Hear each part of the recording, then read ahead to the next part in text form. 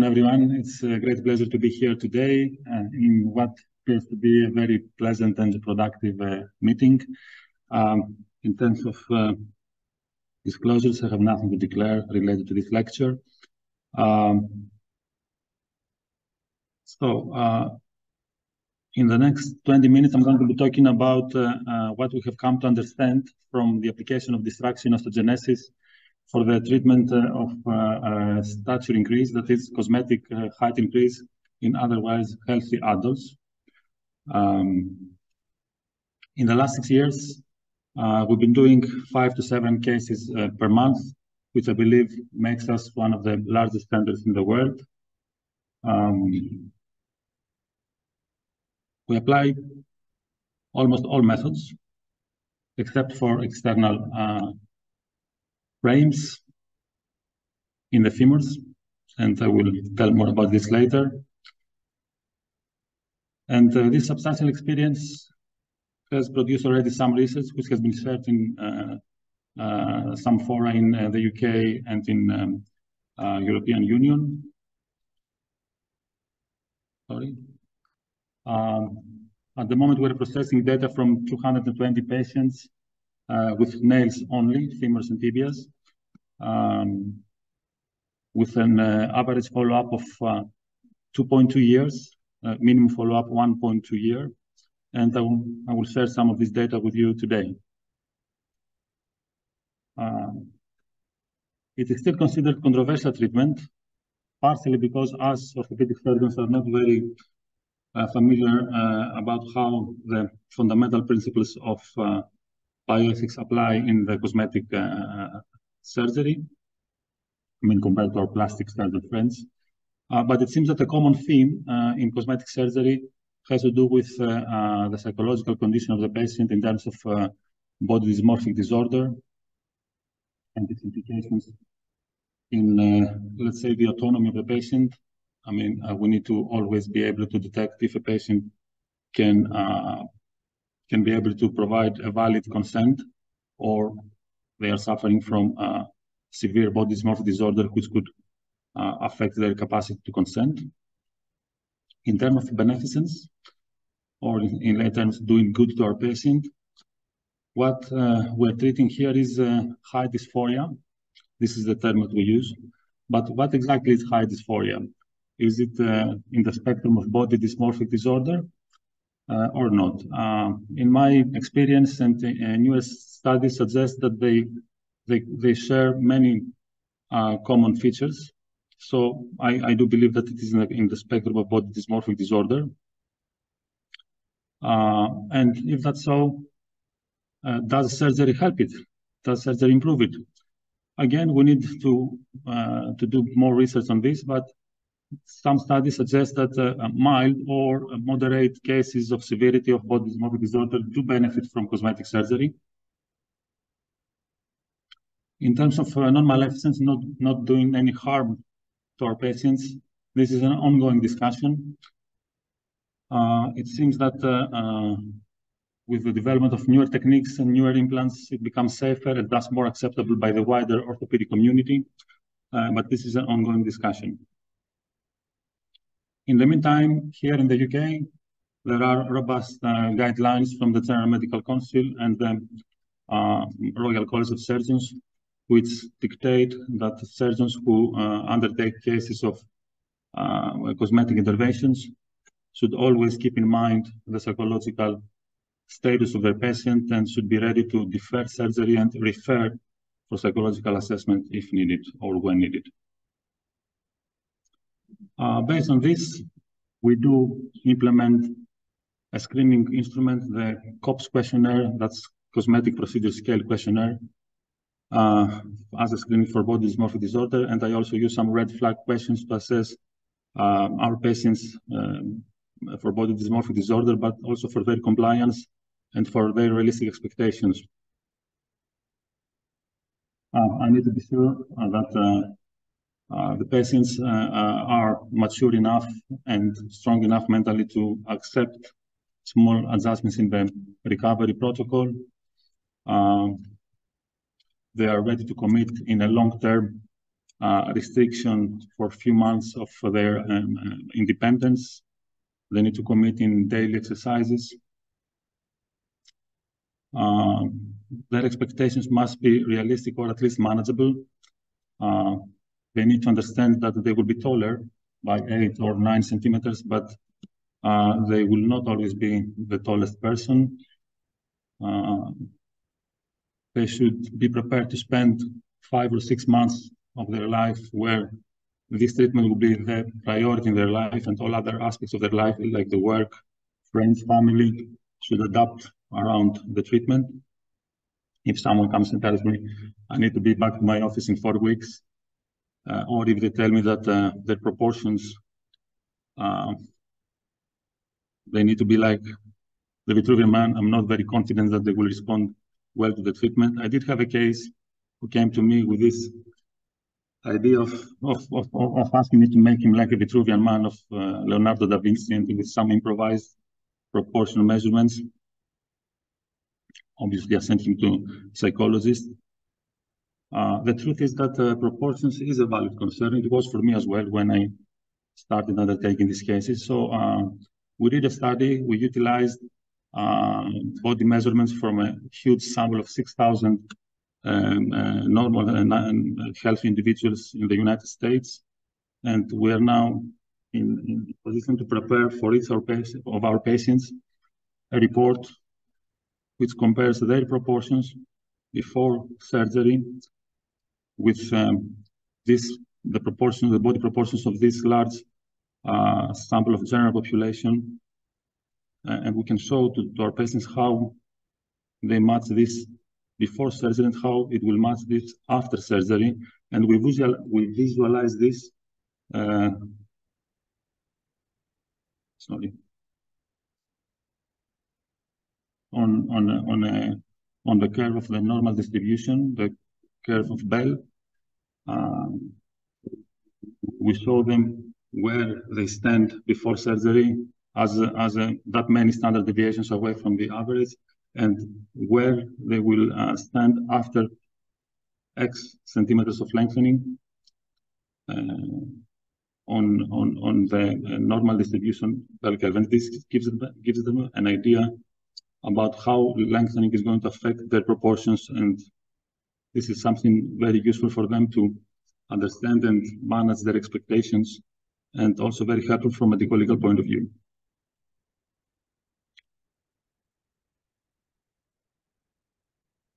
Most of these patients are young patients, uh, well educated.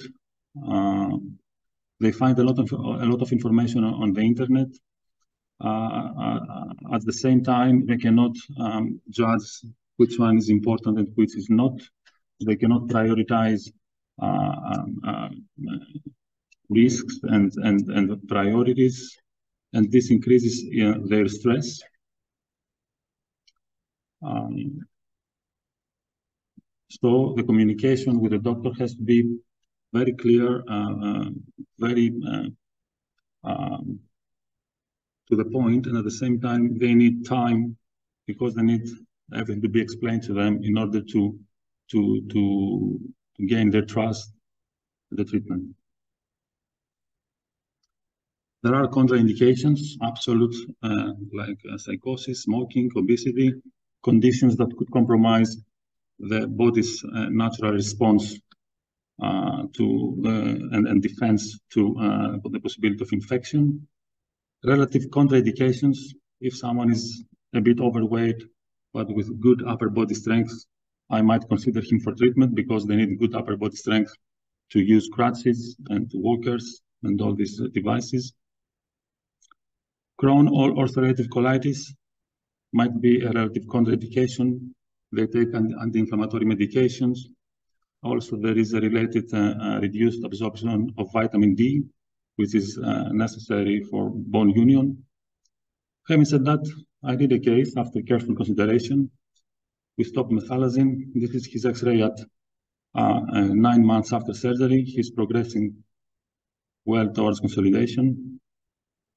I had the gastroenterologist very near, very close by with advice. At some point, there was a flare of his uh, uh, uh, colitis symptoms.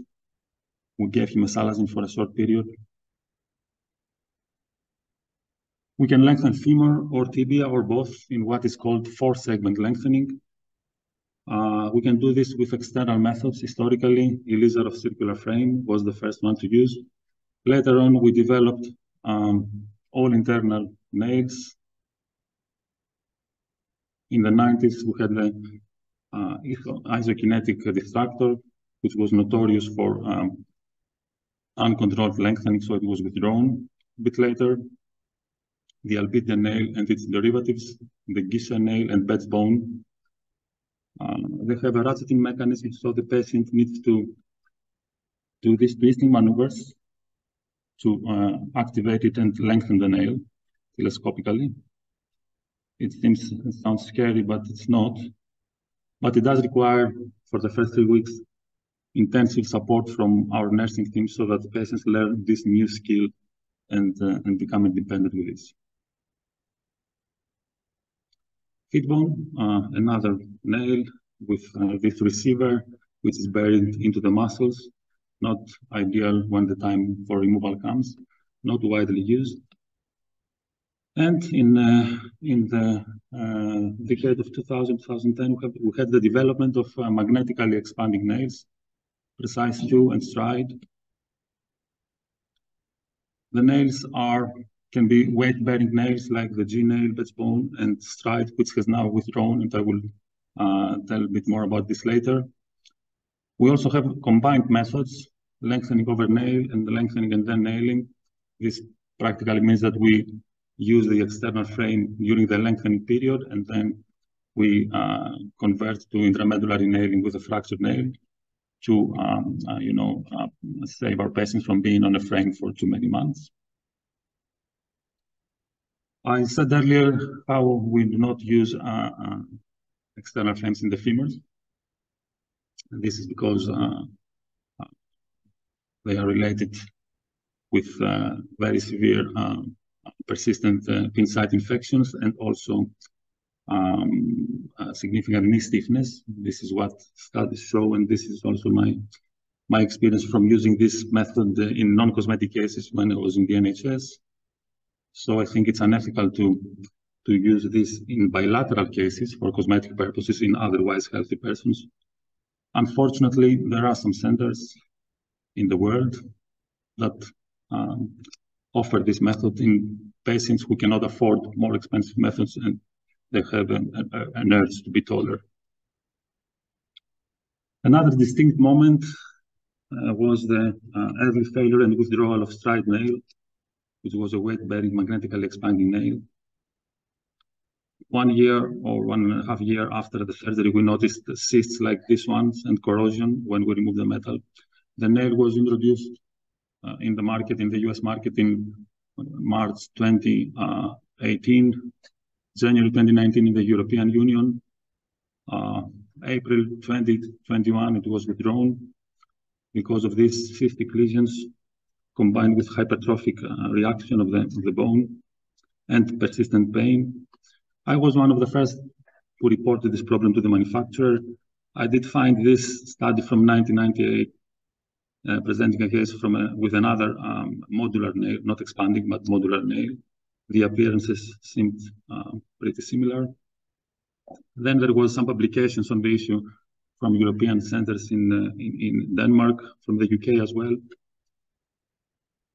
Just uh, uh, seven months before the withdrawal of the, mail, of the nail, uh, Greg Robinson Paley reported that they didn't find any issues with corrosion um, so I thought that we had enough cases to find, to, to check our own, um, to, to, to add to this pool of data that was publishing. So with 75 nails, I presented our findings uh, in in last year's meeting in British Reconstruction uh, meeting, and we found that 57% uh, of the patients um, did develop a combination of lesions, and 52% had uh, persistent pain more than one year later. Recovery, pain is generally manageable. Patients maintain two minutes, please. Patients maintain uh, a basic uh, independence and function with uh, with weight bearing and and crutches. We do use this anti-gravity treadmill in order to help them maintain muscle coordination for walking. Uh, lengthening rate, it takes roughly 11 days for lengthening of one centimeter. Progress of consolidation, we check them every two weeks with x-rays. It does take 40 to 45 days per centimeter for full consolidation from surgery.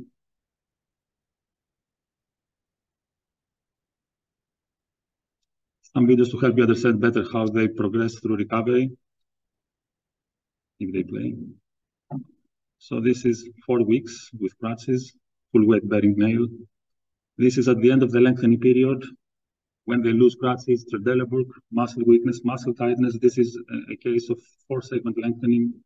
So this is a difficult period that, that lasts four weeks before they improve. This one on the uh, right, one and a half year later, when they come for removal of nail, will return to function.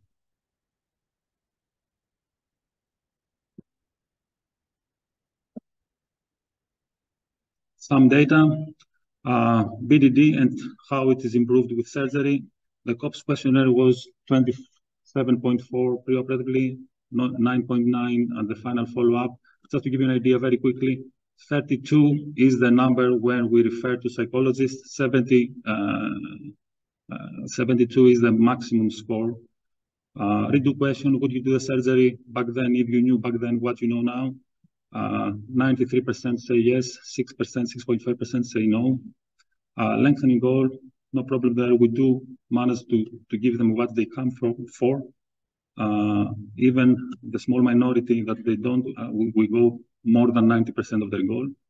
Function, DRI score, disability rate index, patient reported subjective outcome score, uh, 12 questions about daily activities uh, rated in the form of uh, visual analog scale, preoperatively 0.73, final follow-up 5.4.